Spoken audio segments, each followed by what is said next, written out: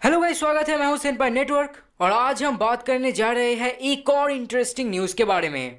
तो आपको तो याद ही होगा लास्ट महीना, यानी कि फेब्रुवरी को मतलब कि ट्वेल्थ फेब्रुवरी को माई हीरो अकेडमिया का फ़र्स्ट मूवी यानी कि My Hero Academia two heroes आया था पीवीआर इंडिया के थिएटर्स में। तो My Hero Academia movie one PVR theatres में आने के बाद हमें कुछ इंटरेस्टिंग चीज़ें जानने को मिला। पहली बात तो ये है कि कुछ लिमिटेड शहरों की पीवीआर में ही ये मूवी रिलीज़ हुआ था। और एक बहुत ही इंटरेस्टिंग चीज़ हमें देखने को मिला कि कुछ जगहों में इतने लोग फ़िल्म को देखने गए कि थिएटर पूरा हाउसफुल हो गया था। और कुछ जगहों में तो ये भी देखने को मिला था कि बस एक ही लोग फ़िल्म को देखने गए थे। तो तेंकिनोको को देखने के बाद हमने ये तो एक्सपेक्ट किया ही था कि माई ज़्यादा सक्सेस नहीं ला पाएगा, और वो भी इंडियन थिएटर्स में।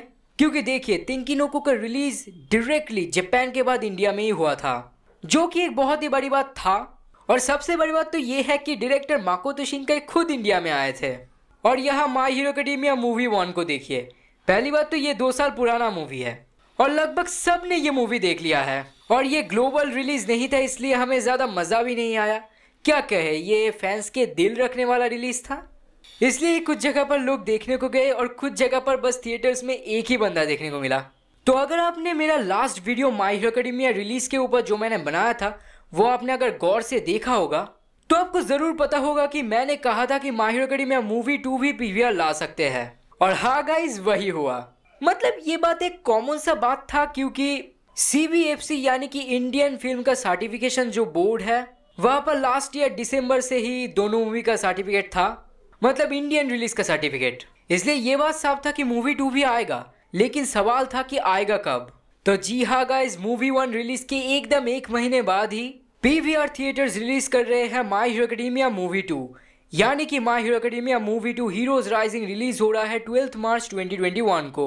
तो जैसा कि मैंने लास्ट रिलीज़ में भी ट्रेलर का एनालिसिस किया था, और यहाँ पर भी एनालिसिस करने से मुझे ये पता चल रहा है कि इस मूवी को भी शायद चाइना से लाइसेंसिंग किया गया है।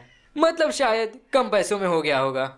लेकिन लास्ट वीडियो का कमेंट देखकर मुझे ये लगा कि आप लोग माई हीरो अकेडेमिया का नहीं डीमन स्लेयर का रिलीज़ डेट चाहते हैं। तो इस बारे में भी हमने लेटेस्ट अपडेट जानने की बहुत कोशिश की और हमारे पास है भी। तो एक बंदे ने इंस्टाग्राम में जाके पीवीएस सिनेमाज ऑफिशियल्स को ये पूछा है कि, क्या आप लोग डीमन स्लेयर मूवी डिस्ट्रीब्यूटर्स के साथ टच में है, जिससे कि ये मूवी इंडिया में रिलीज़ हो सके? तो रिप्लाई ने पीवीआर ने ये बताया है कि अभी तक प्रोड्यूसर का कॉन्सेंट उन्हें नहीं मिला। यानी कि प्रोड्यूसर्स ने अभी तक हाँ नहीं कहा। तो इससे तो ये बात साफ़ हो ही गया है कि मूवी कब आएगा या नहीं, इसके बारे में हमें अभी तक नहीं पता। लेकिन जिस अंदाज में पीवीआर ने रिप्लाई दिया है इससे ये लग रहा है कि मूवी आएगा, लेकिन थोड़ा सा वक्त लगेगा। मतलब आप देख ही सकते हैं, माही अकेडमी का दो मूवीज़ इतना साइमोटेनियस रिलीज़ हुआ, कि देख लग रहा है डीमन स्लेयर का मूवी भी अप्रैल के ट्वेल्थ को ही आ जाए। लेकिन ऐसा होने का चांसेस बहुत ही कम है। तो माई हीरो अकेडमिया का लास्ट मूवी जो पीवीआर में आया था, उसे देख कर ही लग रहा है इस मूवी का ऑडियंस कैसा होगा। और मुझे लगता है पीवीआर को पहले से ही पता था कि ऑडियंस ऐसा ही आएगा। तो मैं बस यही कहना चाहूँगा कि मूवी टू पुराना नहीं है, आपको देखने ज़रूर जाना चाहिए, क्योंकि हमें इंडिया में एनिमे को सपोर्ट करने का मौका बहुत ही कम मिलता है, और जब मिल रहा है, तब सपोर्ट कर ही देते हैं। तो गाइस क्या आप एक्साइटेड हैं मूवी को लेकर? हमें कमेंट में बताइए, और डीमन स्लेयर मूवी रिलीज़ के बारे में और जानने के लिए हमारे चैनल के साथ बने रहिए, और आज के वीडियो में बस इतना ही, मिलते हैं आगे एक और नई वीडियो के साथ।